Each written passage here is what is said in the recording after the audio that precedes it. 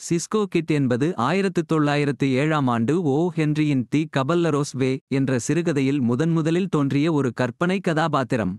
இந்த கதாபாத்திரம் பின்னர் திரைப்படம், தொலைக்காட்சி மற்றும் காமிக் துண்டுகள் உட்பட பல்வேறு ஊடகங்களுக்கு தழுவப்பட்டது. சிஸ்கோ கிட் செய்தித்தாள் கீற்றுகள், குறிப்பாக, இருபதாம் நூற்றாண்டின் மத்தியில் பிரபலமான அம்சமாக இருந்தன. Cisco Kid news paper strips முதன்முதலில் கிங் ஃபீச்சர்ஸ் சிண்டிகேட் மூலம் ஆயிரத்து தொள்ளாயிரத்து நாற்பத்தொன்பதில் வெளியிடப்பட்டது. இதனை ராட் ரீட் எழுதியுள்ளார் மற்றும் ஜோஸ் லூயிஸ் சலினாஸ் வரைந்தார். ஆயிரத்து தொள்ளாயிரத்து நாற்பத்திரண்டு முதல் ஆயிரத்து தொள்ளாயிரத்து ஐம்பத்தாறு வரை ஒளிபரப்பப்பட்ட பிரபலமான சிஸ்கோ கிட் வானொலி நிகழ்ச்சியை அடிப்படையாகக் கொண்டு இவை அமைக்கப்பட்டன. Cisco Kid news paper strips பொதுவாக நான்கு பேனல் டெய்லி ஸ்ட்ரிப்ஸ் மற்றும் முழுபக்க சண்டே ஸ்ட்ரிப்ஸ். பத்தொன்பதாம் நூற்றாண்டின் பிற்பகுதியில் அமெரிக்க தென்மேற்கில் இந்த காமிக் ஸ்ட்ரீப்ஸ் அமைக்கப்பட்டன, மேலும் சிஸ்கோ மற்றும் அவரது சகாவான பாஞ்சோவின் சாகசங்கள் இடம்பெற்றன.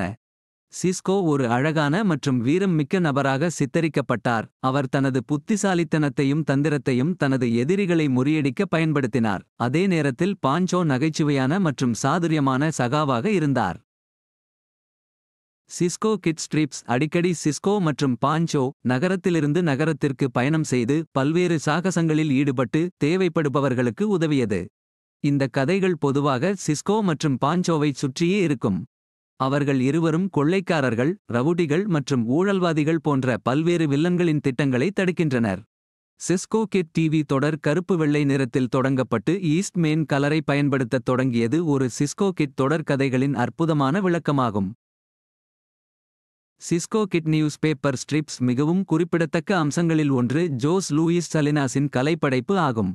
சலினாஸ் ஒரு திறமையான கலைஞராக இருந்தார். அவர் ஒரு தனித்துவமான பாணியைக் கொண்டிருந்தார். அது யதார்த்தமான மற்றும் வெளிப்படையானது. விவரங்கள் மற்றும் ஷேடிங் மற்றும் டெக்ஸ்சர் ஆகியவற்றை பயன்படுத்துவதில் அவர் கவனம் செலுத்தினார். அந்த காலத்தின் மற்ற காமிக் ஸ்ட்ரிப்ஸில் இருந்து அவை தனித்து நிற்கும் ஆழம் மற்றும் யதார்த்த உணர்வை கொடுத்தார். சிஸ்கோ கிட் நியூஸ் ஸ்ட்ரிப்ஸ் கலாச்சார முக்கியத்துவத்திற்காக குறிப்பிடத்தக்கவை. இருபதாம் நூற்றாண்டின் நடுவில் அமெரிக்காவில் பிரபலமான லத்தினோக்களின் கலாச்சாரத்தை நல்ல விதத்தில் சித்தரித்தது சிஸ்கோவின் பாத்திரமாகும். அந்த கதாபாத்திரம் புத்திசாலித்தனமாகவும் வசீகரமாகவும் வீரமாகவும் சித்தரிக்கப்பட்டது. இது அந்த நேரத்தில் லத்தினோக்களுடன் அடிக்கடி தொடர்புபடுத்தப்பட்ட எதிர்மறையான ஸ்டீரியோடைகளுக்கு சவால் விடுத்த ஒன்றாகும். பிரபலமான போதிலும் சிஸ்கோ கிட் செய்தித்தாள் துண்டுகள் பன்னிரண்டு வருட வெளியீட்டிற்குப் பிறகு ஆயிரத்து தொள்ளாயிரத்து அறுபத்தொன்றில் முடிவுக்கு வந்தன.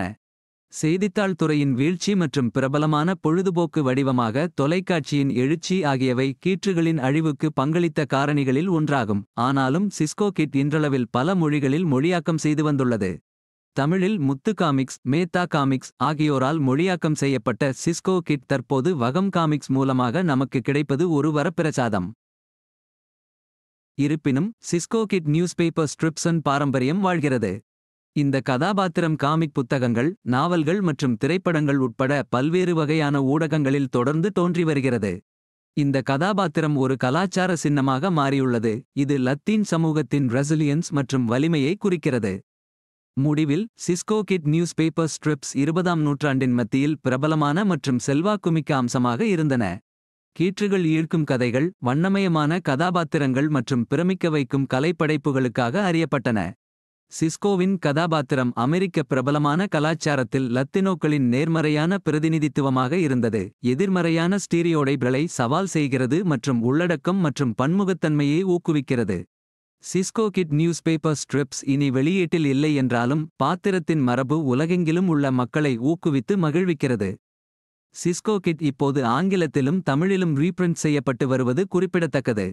ஆங்கிலத்தில் சார்லஸ் பெல்டோ என்பவரால் கிளாசிக் காமிக்ஸ் பிரஸ் மற்றும் தமிழில் புதுச்சேரி கலீல் என்பவரால் வகம் காமிக்ஸில் பப்ளிஷ் செய்யப்பட்டு வருவது குறிப்பிடத்தக்கது. இந்த கதைகளை படிக்க நீங்கள் கீழே உள்ள லிங்க் மூலம் புத்தகங்களை வாங்கலாம்.